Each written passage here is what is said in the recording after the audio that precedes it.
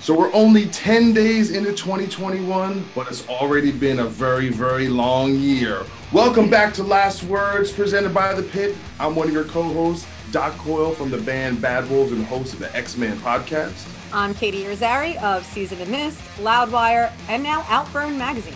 And we're bringing back one of our co hosts from the beginning of the show, Ms. Zeena Koda. Yeah, beef.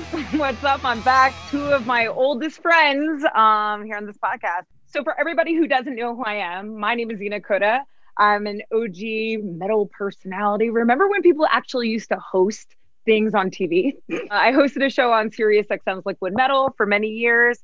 Still do a host gig every now and then, and also host a podcast called Everything's Political. So now that I'm reunited with you fools, Doc, Katy, what have you guys been up to on this podcast? We've been arguing a lot.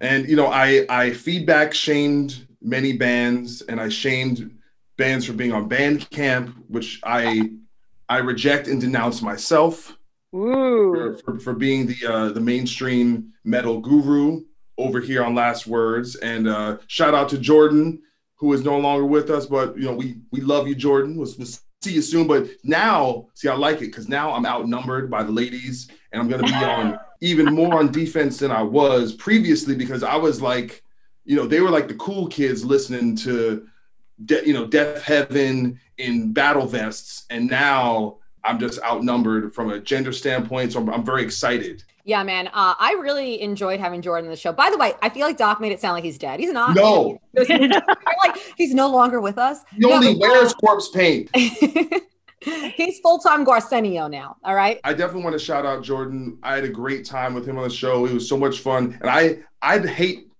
hanging out and talking to people I, I agree with all the time. Me and him with butt heads, but that's when I have the most fun. I think one thing is for sure though, the three of us are Deftones stands. Oh yeah, yeah. Hundred percent. Well, as having the unfortunate title here of being the resident Iced Earth fan, I think it's appropriate we just get right into it.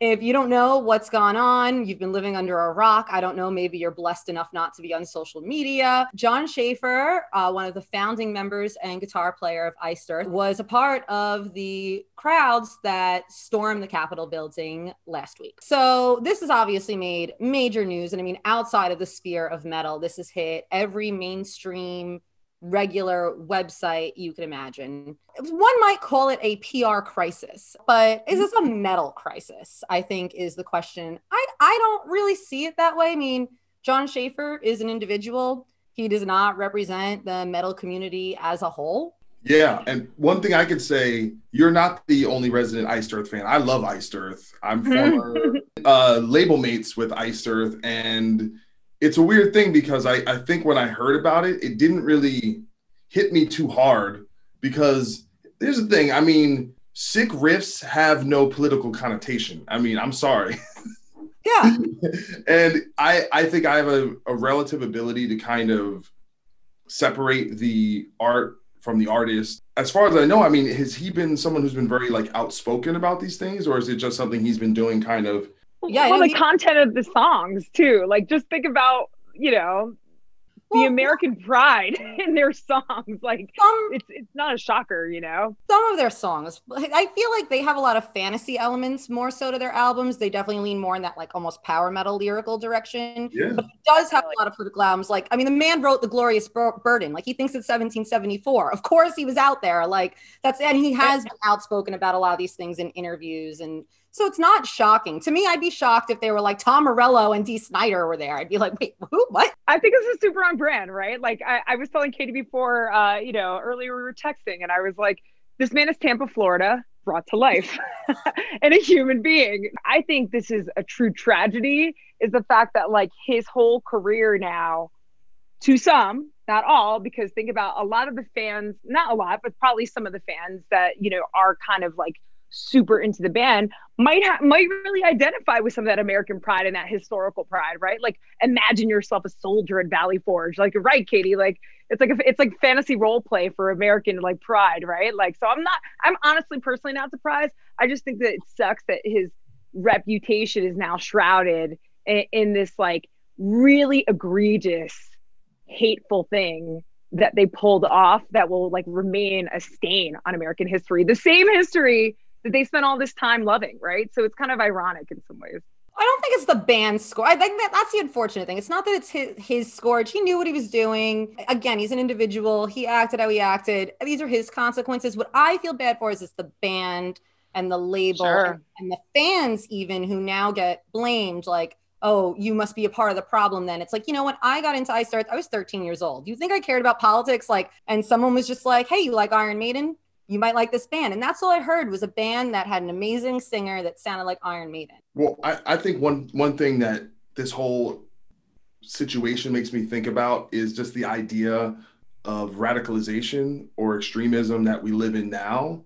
Another interesting relation to Iced Earth is their former singer Matt Barlow quit the band to become a police officer after 9/11, and it kind of makes this through line between Jon Schaffer because I think it shows that for some people there's other things for them that become more important than music or more important than having a career in music. Obviously, wherever he got to that point, he felt the need to be on the front lines and be an activist and act.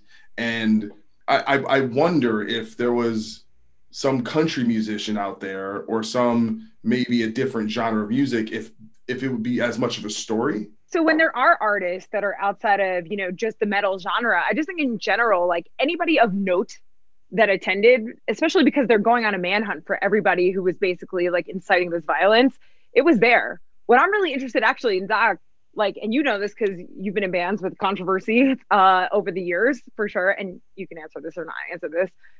Is is how do you how do the other band members handle that? Like what Katy was saying, like it sucks to have those kind of things kind of be a scar on your reputation.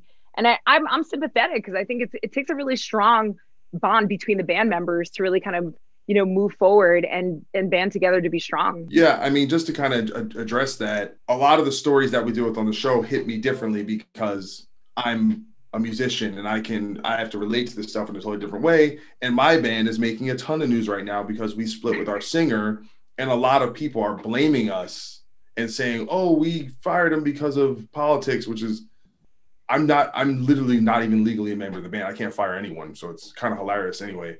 But just as a human being, I have my political ideas, but I think we should be able to coexist and think differently and have different opinions and not make that the central theme of why we're in a band, unless you're in a political band like Rage Against the Machine, where it's about that. Mhm. But there's a certain point where it overshadows the music and it goes so far where this is something where, like I said, this is if he was thinking about his musical career, he wouldn't have been there. Right? That Totally. action was more important than I got to make a new album. And listen, and I wonder if it was if we found out someone from like Fever 333 was taking over one of those government buildings in Portland or something, would we feel the same way? Would we identify more with their cause more? I don't know. I think, once the point you get to violence, once the point you get to destroying property, invading uh, space, I think I'm just not with you because I don't think that's how you win. If you, you know, that's not how you convince people then it, it seems like you're on another thing. That is extremism to me.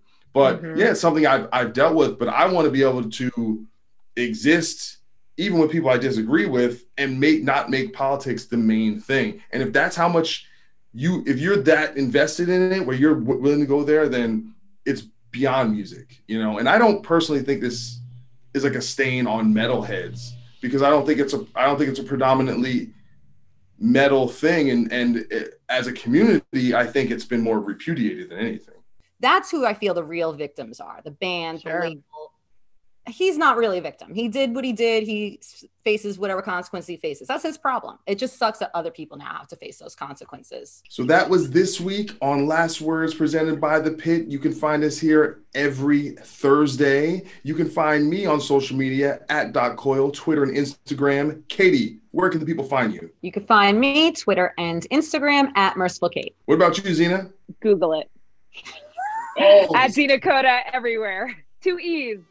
If you want more of this episode, check out our raw, unedited version on all podcast platforms. You could find us at The Pit Presents Last Words. And you can find us at We Are the Pit on Twitter and Instagram. And please hit us up, drop us a message if you have any hot takes on who's going to be involved in the next insurrection.